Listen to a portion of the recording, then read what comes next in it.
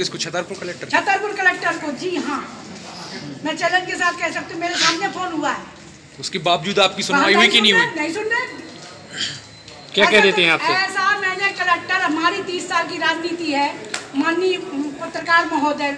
और है ना इलेक्ट्रॉनिक मीडिया प्रिंट मीडिया तीस साल की राजनीति में ना तो मैंने ऐसा कलेक्टर देखा कलेक्टर है, साहब मुख्यमंत्री को नहीं समझते क्या? नहीं वो हम नहीं कह सकते। जो उनकी बात नहीं अरे क्यों नहीं मानेंगे उनकी बात? यहाँ से कॉल आया वो कॉल का कोई हाँ, आपको नहीं मिल तो क्या मान सकती है? साहब ने किया है। कल हंगामा करेंगी क्या सीएम के सामने? सीएम को हम शिकायत करेंगे फिर हंगामा बाद में होगा जब ये हमको डीएम साहब मिलेंगे तब। कैसा प्रदर्शन फिर करोगे हैं? हम हम हमें ना नारे लगाएँगे बुंदेली दर्पण में स्वागत है आपको। जे महिला, कोनो साधारण महिला नहीं, बल्कि महिला कांग्रेस की प्रदेश उपाध्यक्ष रमा चौहान है और इनको आरोप है कि कलेक्टर छतरपुर ने इनकी सुनी नहीं आ इतने तक कि प्रभारी मंत्री ने फ़ोन करो, इनके काम के लाने कि मुख्यमंत्री की ओएसडी तक ने इनके काम के लाने फ़ोन करो कलेक्टर के, तब भी कलेक्टर छतरपुर इनसे मिलवे के तैयार नहीं आ इनके द्वारा कलेक्टर छतरपुर पे तमाम गंभीर आरोप लगाए गए हैं और जो भी कहो है कि वे सीएम से शिकायत करें उनकी। डेढ़ सौ महिला जोड़ के चूड़ी फोड़ हैं प्रदर्शन कर क्योंकि है वो है महिला कांग्रेस की प्रदेश उपाध्यक्ष रमा चौहान को। मैं प्रदेश उपाध्यक्ष हूँ मध्य प्रदेश महिला कांग्रेस भोपाल। जिस तरह से आप प्रताड़ित हैं क्या वजह? मैं ना तो ऐसा कलेक्टर मैंने कभी ज़िले में देखा है और देखूँगी। जैसे बुंदा साहब है, ना तो ऐसा कलेक्टर कभी आया है, ना आएगा। मेरी तीस साल की राजनीति है। मैंने माननीय विद्यावती चतुर्वेदी जी के साथ काम किया है और विभिन्न संगठनों में कांग्रेस के मैं रही हूँ। आज मैं बुंदा साहब को ढूंढती फिर रही हूँ, कहीं नहीं मिल रहा है। ये मैंने जन सुनवाई में दिया, कोई सुनो, कोई सुनवाई नहीं।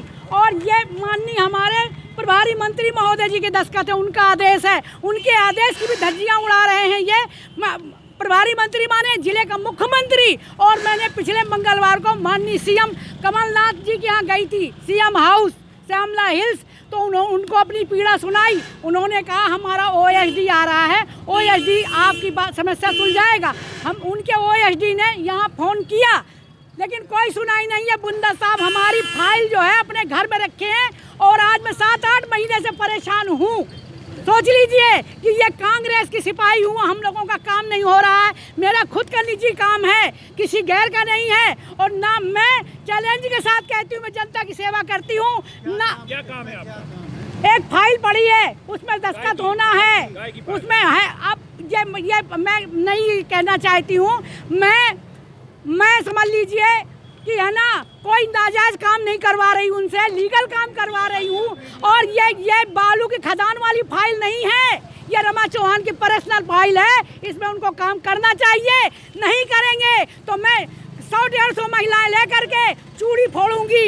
इनकी शिकायत मैं पीसीसी में कर चुकी हूँ, क्योंकि माननीय कमलनाथ जी आज भी हमारे प्रदेश अध्यक्ष हैं। और तो मैं उनको चंद्र प्रभाष शेखर जी को ये बात सुना चुकी हूँ। तो हमारे हमारा संगठन हमारे साथ उन्होंने कहा तुमको वहीं धरने में बैठ जाना चाहिए। ये हमारी शराफत है कि मैं क्या आपकी सरकार के जो सरकार हमारी काम करती है। सरकार हमारी काम कर रही है जनता की सेवा कर रही है। सरकार के सारे काम हो रहे हैं लेकिन बुंदा साहब जो है ये कांग्रेस की नाक काट रहे हैं। ये जनता की सेवा नहीं करते हैं। आप सब लोगों को मालूम है कि पहले मंगलवार के दिन वो वीडियो में गेम खेला करते थे। आप ही लोगों ने तो उछाला है कि साहब माननी जी गेम खेलते हैं। अब वो जनता की इस कान से सुनते हैं उस कान से उड़ा देते हैं। कांग्रेस की सरकार अब नहीं बनेगी क्या? नहीं बनेगी। बनेगी। कलेक्टर ऐसे हटाए जाएँगे ऐसे कलेक्टर हटाए जाएँगे। हैं?